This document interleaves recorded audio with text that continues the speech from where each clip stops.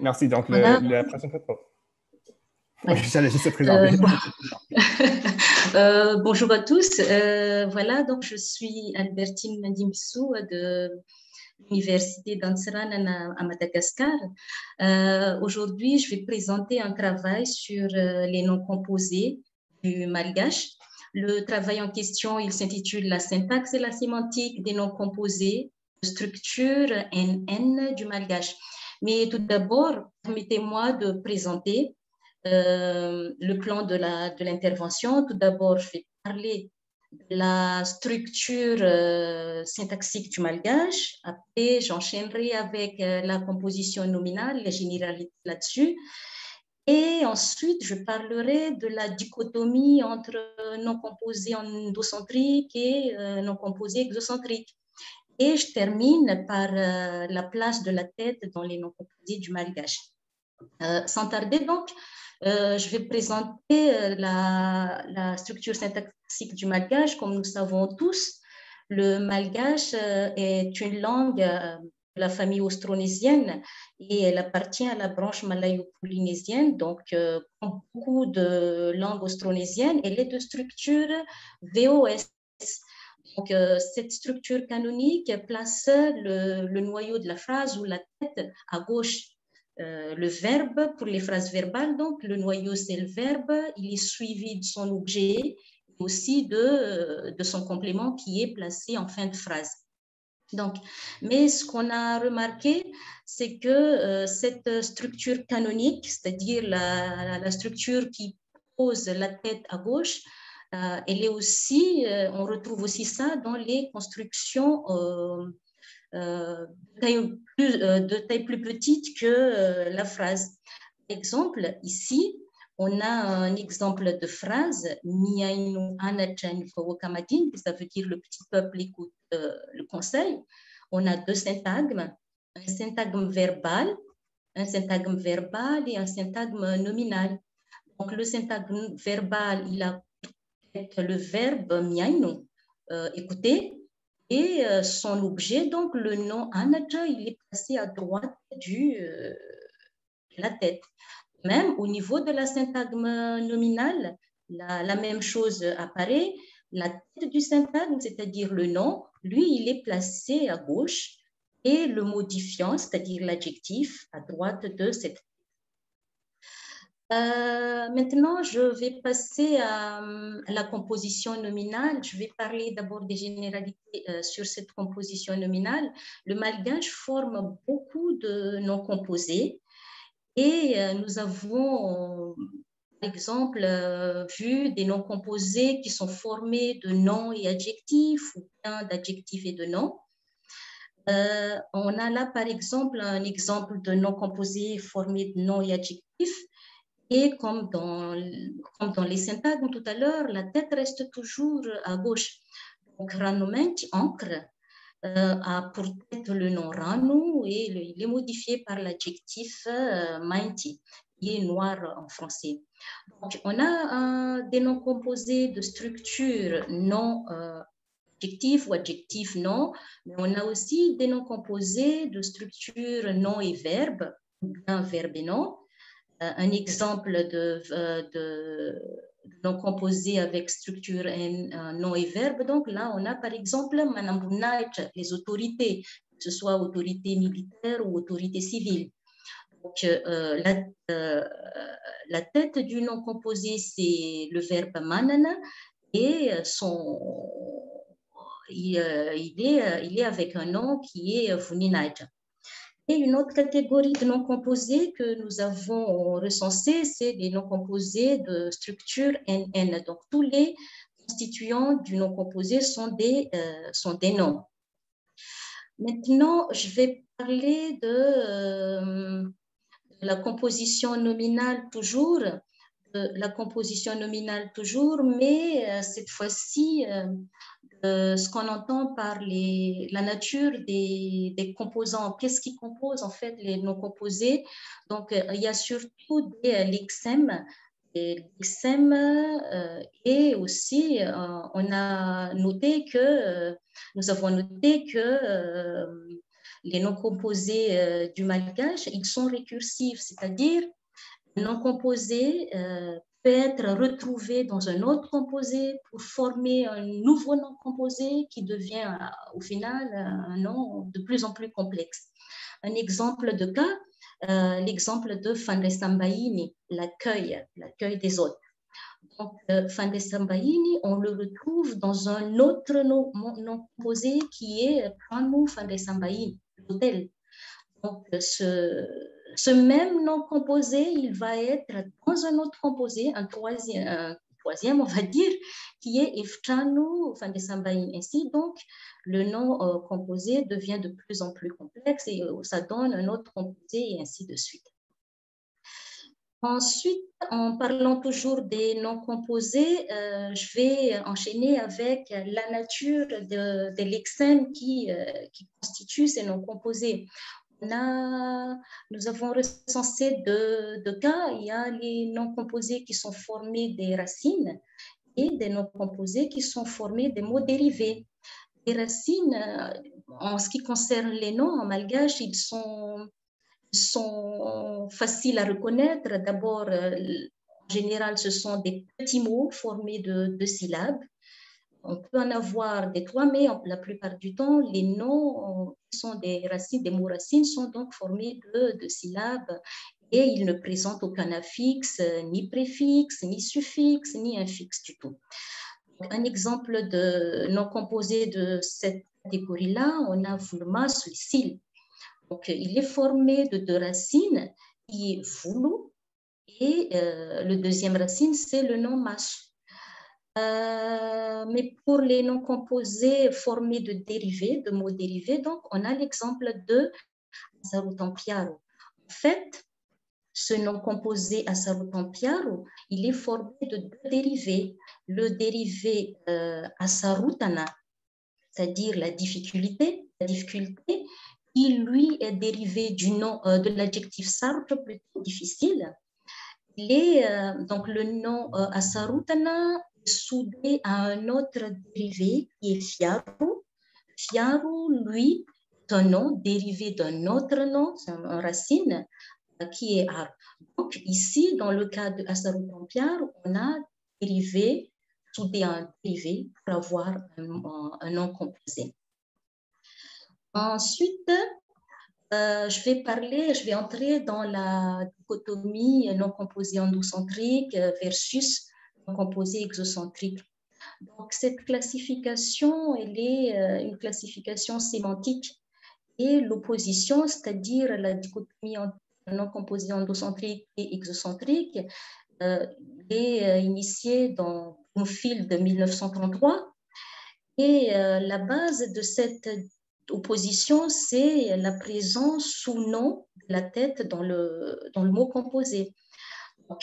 Ce qui concerne la, tête, donc, euh, il a trois, trois, rôles. La tête du, nom, du mot composé euh, a trois rôles.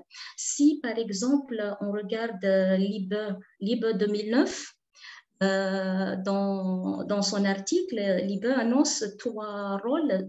D'abord, il y a le rôle grammatical, le rôle sémantique, mais aussi morphologique. Mais comme en malgache, euh, les noms n'affichent pas les, marqueurs morphologiques, donc euh, la tête du nom composé malgache a deux rôles seulement, c'est-à-dire le rôle grammatical et le rôle euh, sémantique. En ce qui concerne le rôle grammatical, par exemple, c'est la tête du nom composé qui, qui donne sa classe grammaticale, c'est la tête qui donne sa classe grammaticale à l'ensemble qui est le nom composé. Si par exemple on a un nom en tête, le, le nom composé formé à partir de ce, de ce, nom va être sûrement un nom. Si on a un verbe, le, le, mot composé formé à partir du verbe va être un verbe. Ça, c'est le euh, le rôle grammatical. Mais il y a l'autre rôle, le deuxième, c'est-à-dire le rôle sémantique, c'est que la tête, lui, il transfère au mot, composé sa classe sémantique, c'est-à-dire le principal trait sémantique du, nom. Euh, par exemple, ici, on parle surtout du test de hyponymie, hyperonymie, test sémantique. si on prend l'exemple du nom composé ranmam ou douce, donc ce nom composé, il est formé d'un nom, ranu, et de mami qui est adjectif sucré. Donc, ranu mami a pour tête ranu parce que ranu euh, Ranu est l'hyperonyme de Ranmami, c'est-à-dire Ranmam est une sorte de Ran. Euh, ensuite, euh, toujours dans cette dichotomie non composée endocentrique, non composée exocentrique, donc, ce qu'on remarque, c'est que euh, la littérature sur les mots composés d'abord euh, parle de euh, les mots composés endocentriques. Donc, ce sont les mots composés qui présentent une tête. Et pour les non composés malgaches, donc cette tête est claire et visible. Et ce, ce que nous avons noté aussi, c'est que la signification au niveau de sens la signification d'un nom composé endocentrique, elle est euh, compositionnelle. C'est-à-dire, euh, on, a la, signification du nom composé si on fait la somme de la signification de ses constituants. Ici, par exemple, avec euh, le nom composé Ravinkazu, feuille d'arbre, on retrouve dans la signification du nom composé la signification de ces éléments, c'est-à-dire feuille, premier élément du nom composé, mais, mais aussi la signification du deuxième élément qui est âge. Donc, euh, la somme des deux significations donne la signification du, euh, du nom composé. Et de même, euh, un autre exemple là-dessus, c'est Utchakundru qui veut dire peau de banane. Là également, on retrouve dans euh, la signification du nom composé la signification de, euh, des éléments qui le, le constituent.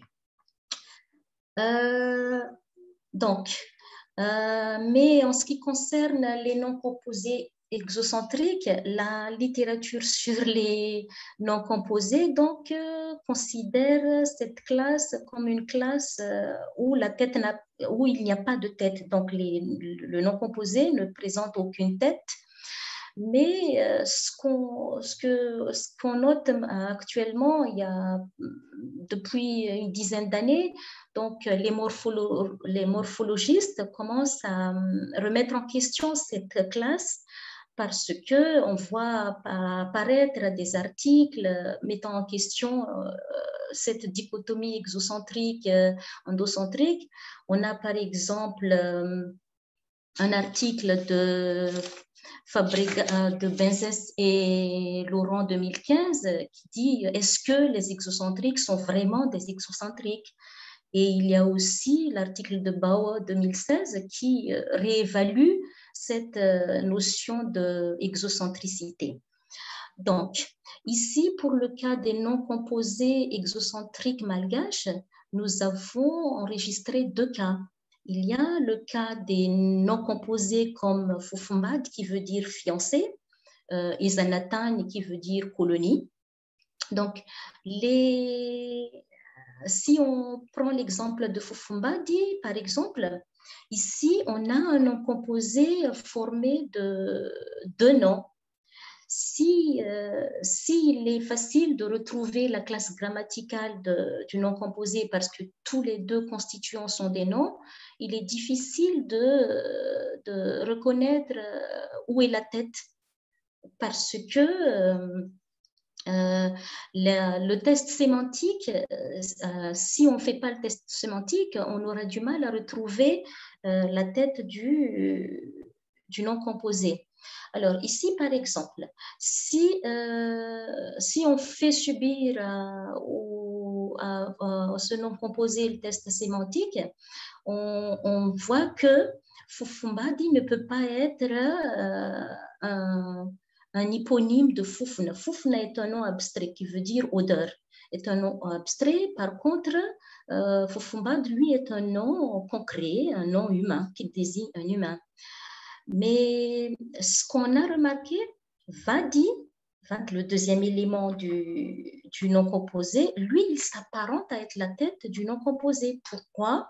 Parce qu'il partage la même classe grammaticale que le nom composé. Vadi, époux ou bien épouse, il est de même classe grammaticale que le, nom composé qui est Fufumba. Ici, donc, euh, nous pouvons dire que c'est Vadi qui a donné au nom composé sa, sa classe sémantique. Zanatan aussi, dans Zanatan, on a un cas pareil, euh, c'est-à-dire Zanatan, il désigne la colonie.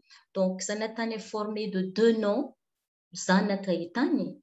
Si Zanaka est un nom euh, concret comme Tani, ce qui les différencie, c'est au niveau de leur deuxième trait sémantique. Donc, tous les deux, ce sont des noms concrets. Mais si on va un peu plus loin dans l'analyse des sens, on trouve que euh, Zanatani ne peut pas avoir comme tête Zanaga. Pourquoi? Parce que euh, Zanatani, déjà, euh, est un nom concret et un nom concret euh, non animé, moins animé. Tandis que Tani, Tani s'apparente à être la tête de, du nom composé Zanatan parce que lui aussi, il, est, il a la même classe grammaticale que le, tout, c'est-à-dire le, nom composé Zanatan. Ici, donc, ça ne peut pas être Zanaka, la tête du, du nom composé en question, c'est-à-dire Zanatan. Alors, euh, avec cette catégorie, ce premier catégorie, euh, première catégorie de non composés exocentriques, euh, le sens, entre le sens attendu, c'est-à-dire si on fait la somme des, de la signification de chaque élément, le sens exact du nom composé, il n'y a pas, il n'y a pas beaucoup d'écart. Donc, on peut dire que ici on a un cas de mots composés, non composés, qu'on appelle, qu'on entend par semi-opaque. Donc l'accès au sens du non composé est possible si on passe par des figures comme la métaphore ou la métonymie. Euh, le deuxième cas, c'est qu'on a recensé au niveau de la classe non composée exocentrique, c'est euh, le deuxième cas, c'est le, cas des noms comme Vudiunji. Vudiunji désigne en fait l'argent qu'offre euh, la famille du, jeune homme pour la dot. Donc, Vudiunji, composé de noms, qui est euh, Fudi, euh, ça veut dire les fesses, et Unji, qui est euh, mouton. Donc, euh, ici, on a deux noms, donc euh, le test sur la grammaire et tout ça, ça, ne nous permettrait pas de trouver le, tête. Et la test sémantique non plus. La test sémantique non plus ne nous donne accès, ne nous permettent pas de trouver lequel de ces éléments-là sont, est, est la tête du non composé. Pourquoi? Parce que euh, Fudiundi ne peut pas ne peut pas être l'hyponyme de Unji. Unji est un nom euh, animé qui désigne un animal, tandis que Vudiunji est un nom concret et moins animé. Euh, non plus ne peut pas avoir, ne peut pas être un hyponyme de Qui est un nom concret lui aussi, mais il indique une partie de, du corps, tandis que euh, Vudiund est un nom concret. Donc euh, ici, dans le cas des euh, noms composés euh, du même ordre que euh, aucun, aucun des deux éléments constitutifs du nom composé n'appartient pas ou bien n'appartient pas à la même classe sémantique que le nom composé. Donc, aucun de ces deux éléments-là euh, n'a donné sa classe grammaticale à l'ensemble qui est le nom composé. Ici, donc, la signification du nom composé est totalement opaque et on ne peut pas accéder à la signification du nom composé si on fait la somme de la, la somme de la signification de ces constituants. je vais terminer par vous montrer le lien entre la place de la tête dans les noms composés et la nature des, et les, les, différentes catégories qu'on a trouvées. Donc, euh, ici, on a un tableau de deux colonnes. Ces deux colonnes euh, contiennent les noms composés où on voit euh, ou bien où on aperçoit une tête. Il y a tout d'abord les noms composés endocentriques. Donc ici, la tête, elle est bien visible. Et ce qui est, ce qui est génial, c'est que la tête elle suit, elle répond à la, structure chronique du,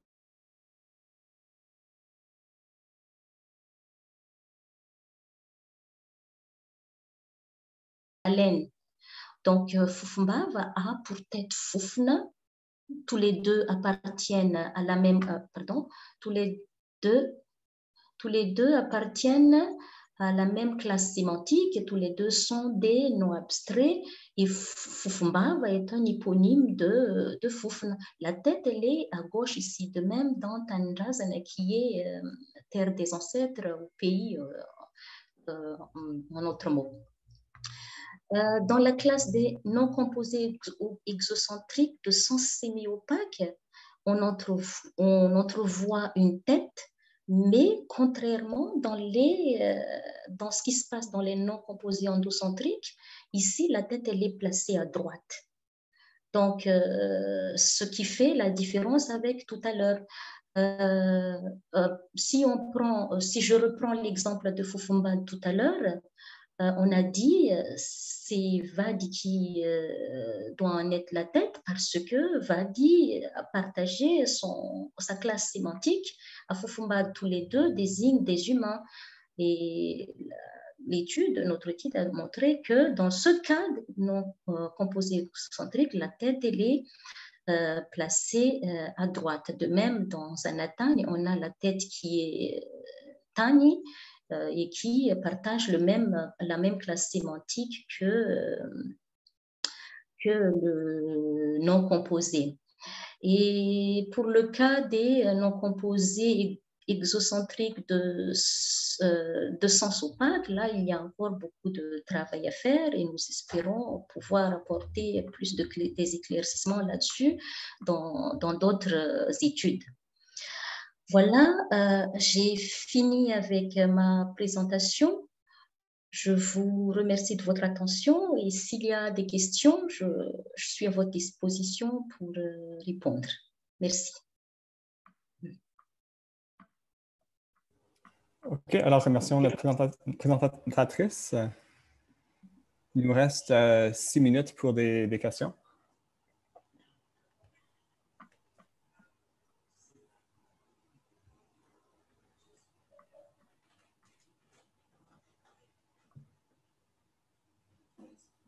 Elena, vas-y.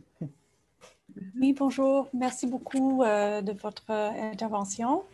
Euh, j'ai quelques petites questions plutôt hmm, empiriques. Alors, mm-hmm. vous avez dit, vous avez bien montré, il y a des noms composés endocentriques et des noms composés exocentriques. Mm-hmm. Mais en fait, les exocentriques euh, dont vous avez parlé, il y a quand même une tête. Vous avez identifié une tête. Euh, donc, dans la littérature sur les non composés, en fait, donc euh, si, le, si dans le non composé, ce qui est supposé être tête ne répond pas aux, aux trois critères que j'ai annoncés au début, donc, euh, on considère que le nom composé est sans tête, c'est-à-dire critère grammatical, c'est la tête qui doit donner, à, qui doit donner au nom composé sa nature grammaticale. Il y a le, critère sémantique, donc euh, la tête euh, doit donner à l'ensemble sa classe sémantique, mais pour les langues où les marqueurs morphologiques sont sont affichés. Donc, c'est à, la tête aussi de donner, de donner cela à l'ensemble du, du nom composé. Si ces trois critères ne sont pas remplis, donc les morphologistes classent le mot composé comme étant un mot composé sans tête. Dans le cas des exemples que j'ai pris tout à l'heure, euh, certains de ces rôles-là euh, ne, sont pas remplis par, ce, par euh, l'élément qui s'apparente à être la tête. Cependant, la, la, classe sémantique remporte sur les autres critères, c'est-à-dire critères grammaticaux ou critères morphologiques. Pour morphologique, le malgache n'est pas, n'est pas touché parce que les noms malgaches des marqueurs morphologiques comme le pluriel, euh, le pluriel, le féminin et le masculin, tout ça, ça n'apparaît pas en malgache. Donc voilà. Oui, ok, mais je vais peut-être poser la question autrement. Est-ce qu'il y a mhm. des noms composés endocentriques qui, mhm. sont, qui ont un sens semi-opaque? Non. Jusque-là, les études qu'on a entreprises a, montré que les endocentriques, ils sont de sens compositionnel. Même un non malgachophone, quelqu'un qui apprend le malgache, par exemple, s'il lui connaît la signification de chaque élément, il peut arriver à la signification du nom composé bah, formé à partir de ces éléments-là. L'opacité, c'est surtout caractéristique des exocentriques. OK, donc c'est ça. Donc pour vous, l'opacité, cela égale exocentrique. C'est bien mais ça. Là encore, mais là encore, il faut faire la distinction parce que l'opacité, euh, c'est euh, l'opacité, il y a aussi euh, une graduation dedans. C'est pourquoi oui. les oui, il y a une graduation. Ranumainti, Ranumainti, Ranumainti. Mm-hmm. Est-ce que c'est mm-hmm. opaque ou c'est transparent? rendement, c'est transparent. Parce que l'encre, euh, l'encre, c'est du liquide. Le liquide, euh, au début, il est noir. L'encre, l'encre, l'encre stylo, l'encre. Oui. OK, je, vais intervenir, mais on a, on a, deux minutes de reste, puis il y, a une, il y a une question intéressante dans le clavardage, alors on va juste passer à la prochaine question, je pense, de Matt Pearson qui demande euh, si c'est possible que euh, Fufumbadi, c'est pas Fufuna et Vadi, mais plutôt c'est Fufu avec un N et ensuite Vadi. Puis il demande ça parce qu'il dit qu'il pense au verbe euh, mi fufu, voulant dire euh, se fiancer. Alors, dans ce cas-là, est-ce que Fufu pourrait être la tête euh, de ce mot-là? Fufuna pourrait être la tête de, du nom composé Fufumbadi. ben, juste Fufu, pas Fufuna. Ah, il, pense à la racine dans mi-foufou. Euh, mi-foufou. Euh, j'ai pas une réponse euh, là tout de suite parce que euh, mi-foufou, mi-foufou, mi-foufou étant un verbe pour, euh, pour se fiancer. Je me suis fiancée à une fille, mi-foufou, mi-veiva, viao. la construction, oui, donc euh, là, là, là, tout de suite, je n'ai pas un, élément de réponse à lui donner, mais merci pour la, remarque. Je vais revenir là-dessus, mais je, trouve, mais fou, fou, oui. comment il explique? C'est un peu euh, la question, elle est, elle est complexe. Comment il explique alors Je peux, je peux expliquer? Je peux expliquer? oui, oui. Alors, mi foufou, mi foufou, le verbe. Mhm. foufou, ça veut dire, hmm, ça veut dire de, de se fiancer. Mhm. Alors, la racine de ce verbe, c'est foufou. Alors, fufumbadi, ça pourrait être une non composé de foufou plus Vadi,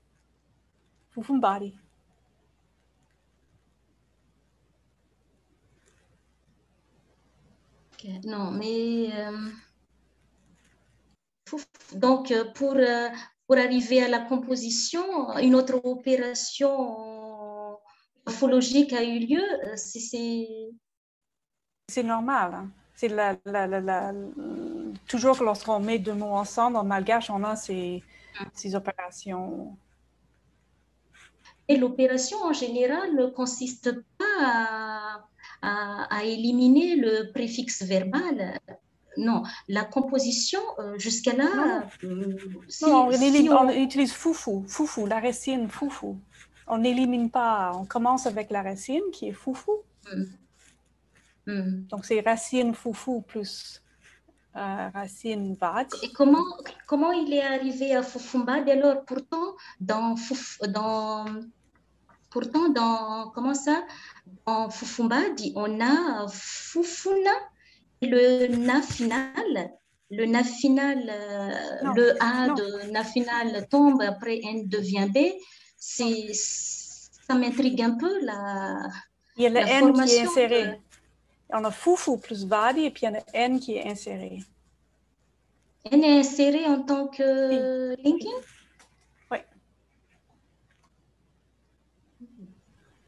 OK, je ne vais pas interrompre, mais on est quand même à 11h32, alors juste, juste pour suivre Mais like, comme, comme toile d'araignée, quel est le mot pour toile d'araignée? Euh... Tanunkala, on a insertion de Tanunkala, oui. Mm-hmm. On a insertion oui, on a likin, on a likin, un, un, élément de liaison entre Chanu et Ala. Et d'habitude, oui. cet élément de body, liaison... On a... Oui, c'est la même chose. Mm. On peut continuer cette conversation euh, juste une fois qu'on a, qu'on a conclu la session. Vous pouvez rester ici en perdre le temps que vous voulez. Alors, euh, on, va conclure et remercier euh, la présentatrice Albertine Mandibiso une dernière fois pour sa présentation. Merci à vous également. Uh, so moving back into English, uh, there's now a student mixer on, on GatherTown, which um, perfect Mitchell just posted in the chat. So uh, hope to see you there in, in a moment. And, et on peut continuer euh, la conversation euh, du malgache ici en même temps. Mm.